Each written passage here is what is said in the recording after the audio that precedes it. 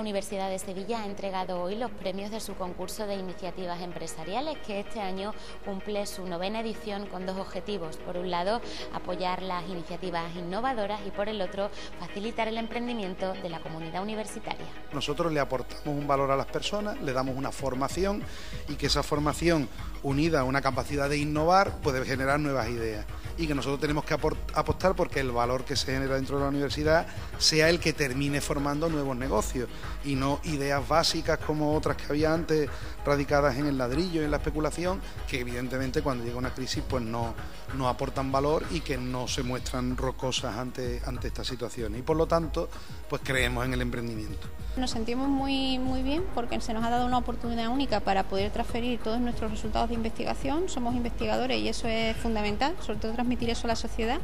Y precisamente nuestra idea va de tecnología, pero una tecnología aplicada a resolver problemas sociales importantes como es el de la dependencia.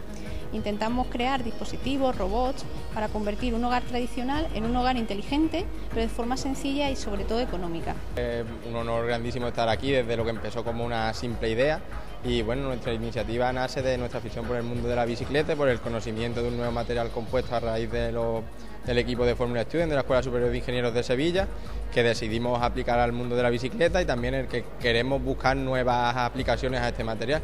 Es un material bastante novedoso, del que queda mucho por investigar y estudiar y bueno, estamos en ello. Nuestro proyecto se llama Entrénate. Entrénate es un nuevo concepto de entrenamiento verde, donde la nutrición, el coaching y la actividad física monitorizada se unen para mejorar la, mejorar la calidad de vida de las personas y todo al aire libre. La verdad que es un reconocimiento importante porque es como cuando te dicen estás haciendo las cosas bien y eso es lo que hemos sentido nosotras. Yo creo que debería potenciarse mucho el emprendimiento en los jóvenes para que, sobre todo ahora en momentos en los que no haya trabajo, no haya forma de, de encontrar una posición laboral fija, pues crear tu, tu, propio trabajo y hacer así lo que te gusta y pues ganarte el pan del día a día. Nuestra iniciativa es, bueno, la idea es crear una empresa de servicios sanitarios que tiene como objetivo ofrecer terapia psicológica en el ámbito de dolor y desarrollo en investigación en el mismo campo. De hecho, por ejemplo, nuestra iniciativa tiene un gran valor social, ¿no? porque estamos eh, aportando calidad de vida a personas que realmente lo necesitan. Entonces, pues sí, la verdad es que contenta y orgullosa y seguiremos trabajando, seguro. Se ve recompensado el trabajo realizado durante tanto tiempo. Además, también todo el trabajo de investigación llevado a cabo en el grupo de obtención de biocombustible liderado por Paloma Álvarez.